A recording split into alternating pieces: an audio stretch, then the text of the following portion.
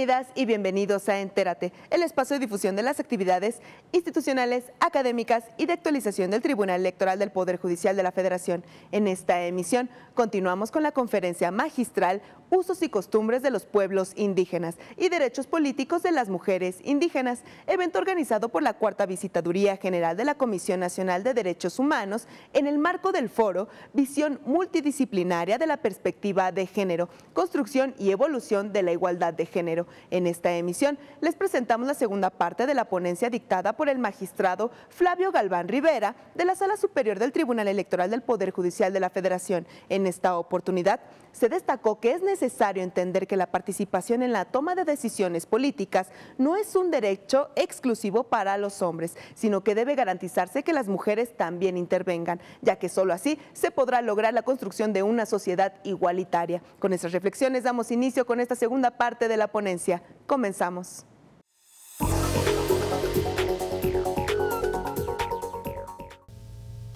Primero la autoascripción pero ¿cuántos se avergüenzan de decir que son indígenas?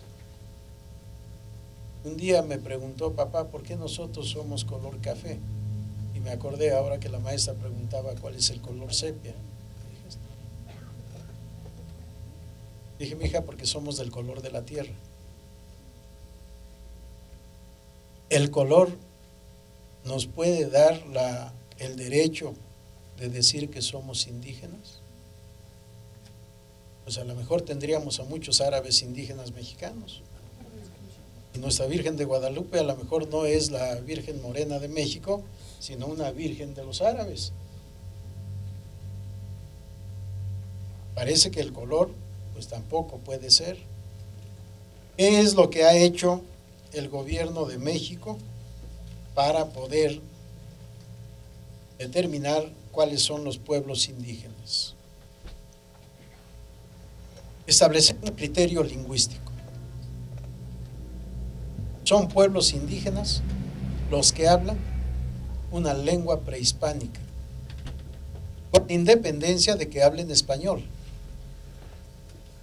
Bueno, y los que no hablamos lenguas indígenas y nos sentimos o somos indígenas, a mí me avergüenza confesar que no sé hablar náhuatl y que casi lo he olvidado. Mi bisabuelo paterno casi no hablaba español, pero correctamente nos decía, no como ahora decimos, y creo que ya venció esta palabra, que hablamos español. Mi bisabuelo decía, ustedes que hablan castilla, díganme cómo se dice tal cosa. Porque eso es lo que hablamos, castellano. Pero claro, después fuimos haciendo nuestro propio, propio idioma y ahora hay español fuera de España. En España sigue habiendo esta diferenciación lingüística. En España no hay español. Fuera de España sí hay español, español de México, español de, de Argentina, de Ecuador, de Bolivia, etc. Bueno, el criterio lingüista es el que ha determinado cómo podemos clasificar a los pueblos indígenas. Entonces tenemos este, este criterio lingüista que nos ha ubicado, de acuerdo a las investigaciones del Instituto Nacional de Lenguas Indígenas, junto con la Comisión Nacional para el Desarrollo de los Pueblos Indígenas de México, ha ubicado ha catalogado o clasificado las lenguas indígenas en 11 familias, 11 familias lingüísticas indoamericanas. Estas 11 familias lingüísticas se dividen en 68 agrupaciones lingüísticas. Y las 68 agrupaciones lingüísticas se pueden clasificar finalmente en 364 variantes lingüísticas. ¿Cuáles son estas 11 familias lingüísticas? No creo que nos acordemos después de, hoy, pero vale mencionar. Álgica, Yutonagua, Cochime Yumana, Seri, Otomangue, Maya, Totonaco Tepegua, Tarasca, Mijesoque, Chontal de Oaxaca y Guave. Nombres que a lo mejor nunca habíamos escuchado. Claro, Mije es común, Maya es común, Tarasco es común, pero hay muchos que quizá nunca habíamos escuchado. Cuando escucho hablar náhuatl de Veracruz, me hizo el favor la maestra Norma Inés Aguilar León de invitarme al Congreso sobre Afrodescendientes que llevó a cabo la Comisión Nacional de Derechos Humanos en Veracruz. Cuando escuché el náhuatl de Veracruz, pues menos entendí. Y cuando voy a mi pueblo, más o menos entiendo lo que dicen. Pero el, el náhuatl de mi pueblo, Santa Ana Tlacotenco, no es el náhuatl de Milpa Alta, que es la cabecera delegacional, y solo nos separaban tres kilómetros y medio. El náhuatl de Milpa Alta no es el náhuatl de Puebla o de Veracruz, o de Guerrero o de San Luis Potosí. Como hay variantes de un mismo grupo o incluso de una misma familia de lenguas indígenas. A partir de, esta, de este criterio lingüístico, aquel que habla un idioma prehispánico o indoamericano, como también se le denomina, es considerado indígena. Entonces, muchos no quieren decir o no quieren confesar que hablan una lengua indígena. ¿Cuántos son monolingües que solo hablen lengua indígena. No tenemos el dato exacto, pero deben ser muy pocos. ¿Cuántos han ido perdiendo esa posibilidad de hablar o de entender el idioma indígena siendo de un pueblo considerado indígena? Yo voy en primer lugar como ejemplo, y me apena no entender lo que entendía. Y me da gusto ver cómo en mi pueblo los académicos empiezan el rescate de la lengua indígena para enseñarla a las nuevas generaciones. Al entenderlo, las nuevas generaciones van a ser indígenas. Cada día menos. Y tenemos indígenas en la Huasteca y en muchos lugares de piel blanca, ojos azules ojos verdes, no morenos, pero que no hablan español, o que hablan español y el lenguaje prehispánico. Ahí está el primer problema que tenemos para poder identificar a los pueblos indígenas. Yo sostengo que no existe. Qué bueno que mantengamos ese conocimiento y esas tradiciones. Hoy cuando vi llegar a la maestra le dije yo iba a traer mi corbata naranja también, es eh, muy indígena porque trae eh, los agaves que dibujó Pineda Cobalín. Lo digo solo como ejemplo de qué es lo que es ahora indígena. El arte indígena incorporado a uno de los elementos valiosos que nos ha dado la cultura europea, la seda cómo vamos haciendo un sistema y una sociedad global. Da gusto en Europa cómo se puede ir de un país a otro sin necesidad de estar mostrando el pasaporte. O en el sur de, de América, ciudadanos de Sudamérica o del cono sur en donde no tienen que presentar pasaporte para ir de un lugar a otro. ¿Por qué? Porque es una sola comunidad. Volver a repasar el sueño de Simón Bolívar de hacer de toda América Latina una sola América, porque somos un pueblo común. En 2014 asistí al Tribunal de lo Contencioso Electoral de la República del Ecuador en un congreso, a ver si está el título por aquí, fue Seminario Internacional de Justicia Electoral y Democracia Comunitaria, los pueblos y nacionalidades indígenas, afroecuatorianas y montubios. Ese fue un congreso y se da uno cuenta cómo toda América Latina es similar. Cómo nuestras tradiciones y costumbres prehispánicas en Perú, en Chile, en Argentina, en Ecuador, en México son similares. Pero cómo en algunos de estos lugares todavía se conservan estos pueblos indígenas. Nosotros hablamos de pueblos indígenas tanto por el criterio oficial lingüístico como por la miseria y el color, o por el tipo de ropa, como nos sucede con grupos de Chiapas y del Estado de México, de Nayarit en algunos casos. Bien, este es el problema, el panorama de los pueblos indígenas en México. Mis respetos para quienes piensen de otra manera. Yo considero que en México no hay pueblos indígenas y que eso obedeció, uno, a que no hubo esclavitud en cuanto a los naturales de América, con todo el régimen de sometimiento a, a los conquistadores pero no hubo esclavitud formalmente hablando. Y esto permitió que el indígena se pusiese en comunicación biosocial con el europeo. Y cómo ante la necesidad de un trabajo o mayor o mejor, no sé, se importaron esclavos a México y cómo el esclavo negro que huía a la sierra, se mezclaba con los grupos indígenas. Cómo el pueblo negro se fue mezclando con descendientes de indígenas y españoles.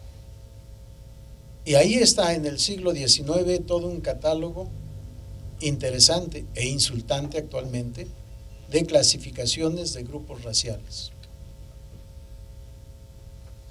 No recuerdo todas las denominaciones, dejaré en el aire este, este tema.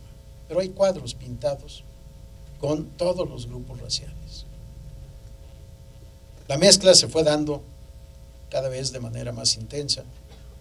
Hubo una mezcla inversa en Sonora con una española raptada por un pueblo que era indígena puro y ahí empieza el mestizaje, pero a la inversa. No la mujer entregada al conquistador, sino la mujer blanca que es raptada por el pueblo indígena y empieza un mestizaje a la inversa, pero con un producto igual. Creo que incluso así se le denomina a la joven raptada, la malincha a la inversa. Bien, ¿qué ha pasado en la legislación? No habíamos tenido disposición en la constitución política de los Estados Unidos mexicanos que hiciera referencia alguna a los pueblos indígenas. Nuestro primer antecedente es de 1992.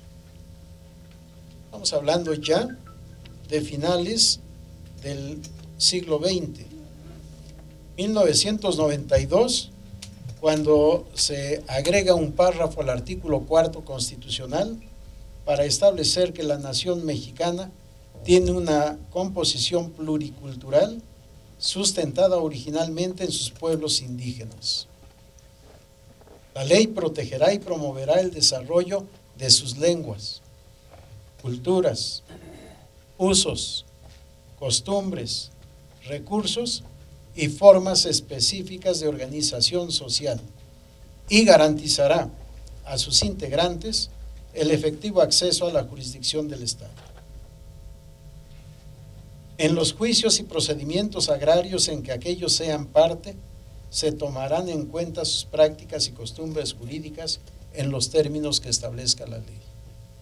Realmente es el problema agrario lo que hace reconocer la existencia de pueblos indígenas, para poder reconocer y proteger la propiedad comunal, más que la propiedad ejidal, la propiedad comunal, ni siquiera la propiedad privada, sino la propiedad comunal sobre montes y campos cultivables, sobre ríos y demás formas de explotación del agua, incluso sobre minas, etc. Esto da lugar a que tengamos actualmente una riqueza en materia legislativa.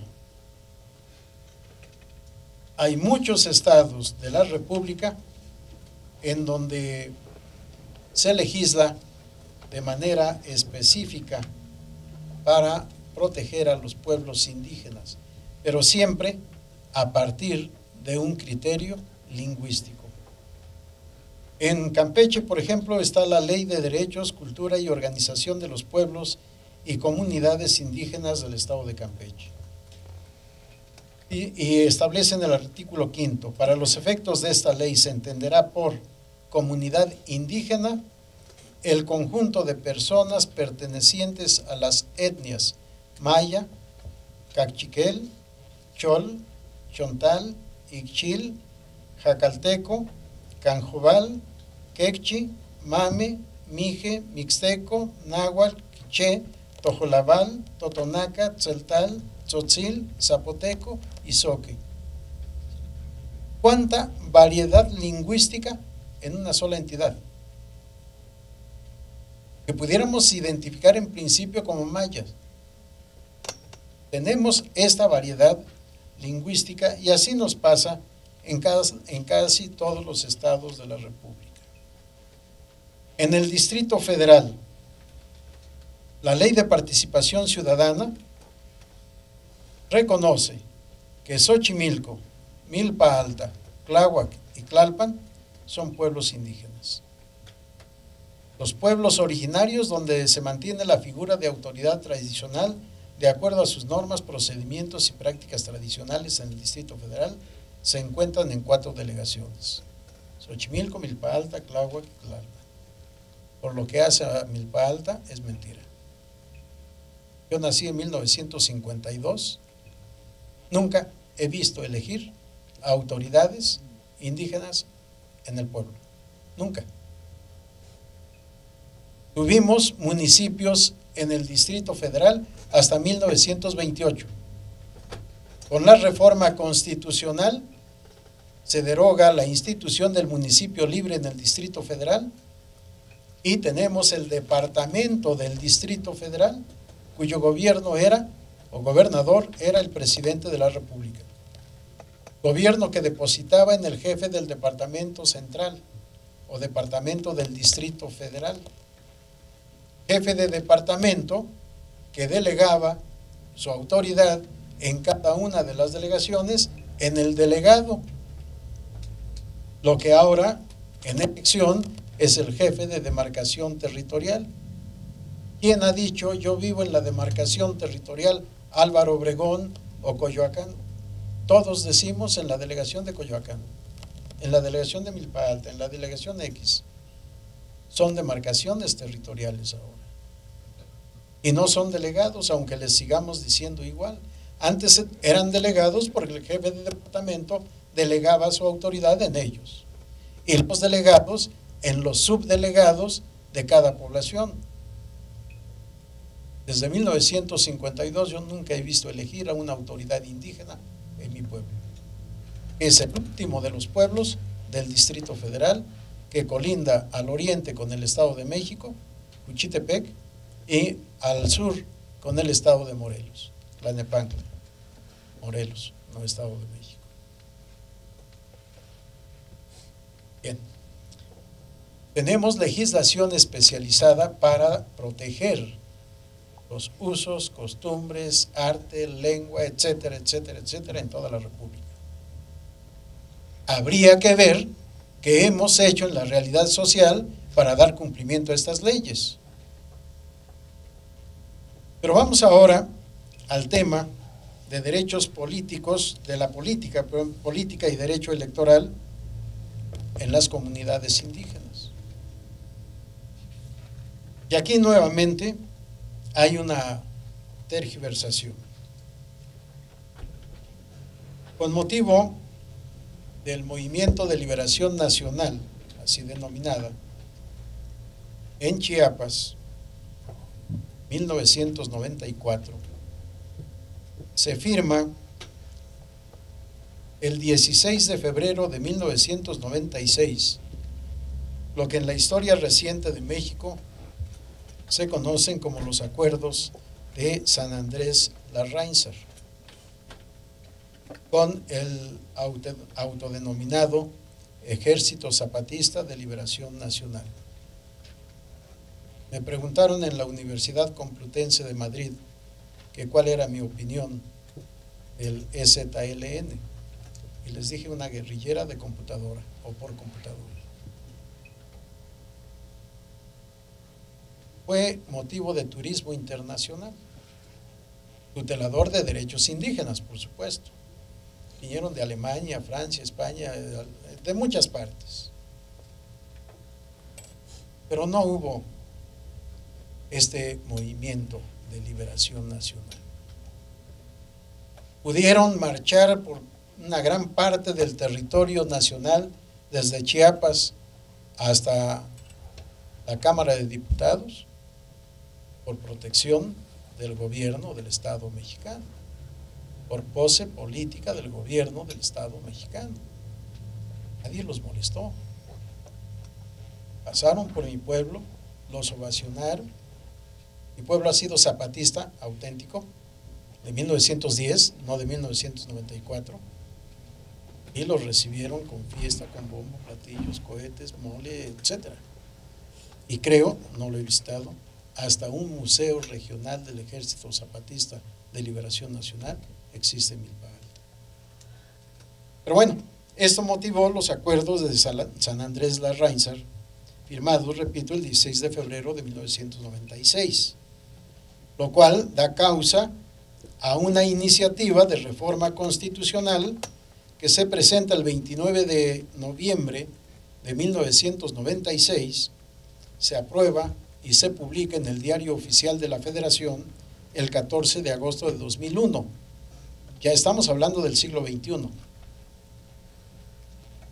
Para establecer el actual texto vigente del artículo segundo de la Constitución con una gran verdad de principio. La nación mexicana es única e indivisible. Esto es lo que nos debería de animar a todos. Pensar que la nación mexicana es única e indivisible. No andar pensando en la autonomía de los pueblos indígenas o en rescatar y aislar a pueblos indígenas que ahora a los afrodescendientes. Y aquí hay muchos temas también que, causan polémica, que debemos tratar con mucho cuidado y con mucho respeto, porque tenemos que reconocer estas raíces, tenemos que defenderlas, tenemos que rescatar todo lo valioso que tienen en todos los aspectos. Actualmente la, la cocina mexicana es parte del patrimonio intangible de la humanidad. Bueno, también los pueblos de ascendencia africana nos han heredado parte de la comida mexicana. Y si no vean, veamos en Guerrero, Oaxaca y Veracruz, tenemos muchos, muchos de estos antecedentes y de los prehispánicos. No sé cuántos mexicanos no hayamos comido escamoles, gusanos o chapulines. Ya vi algunos gestos. Son riquísimos. Bueno, a partir de este primer concepto, reconocemos la realidad. La nación tiene una composición pluricultural sustentada en sus pueblos indígenas, que son aquellos que descienden de poblaciones que habitaban en el territorio actual del país al iniciarse la colonización. Importamos la palabra del el convenio 169 y se nos olvidó la conquista. Al iniciarse la colonización, no fuimos colonizados, fuimos conquistados. Sí se colonizaron algunos territorios, es cierto, pero no es el fenómeno político, jurídico y, económico principal, y que conservan sus propias instituciones.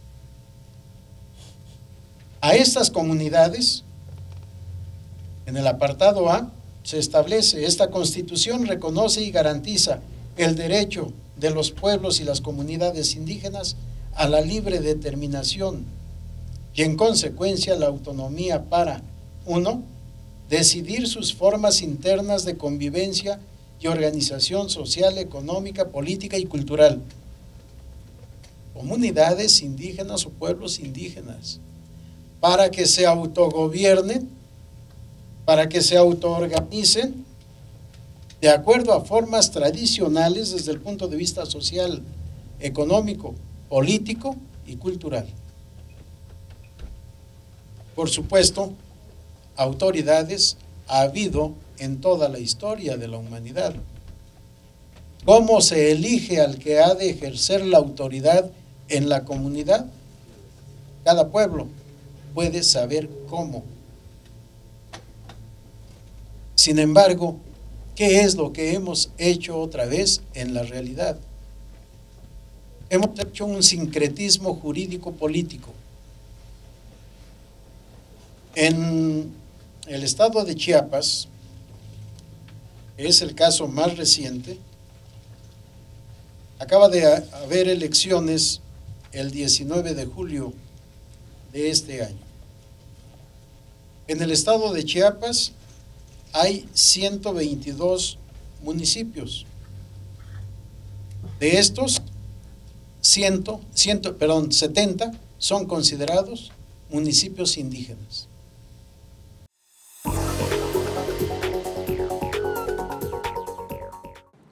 Los esperamos en una próxima emisión de Entérate con más de las actividades realizadas en la conferencia Usos y costumbres de los pueblos indígenas y derechos políticos de las mujeres indígenas, solo por plataforma electoral. Soy Roxana Noriega, hasta la próxima.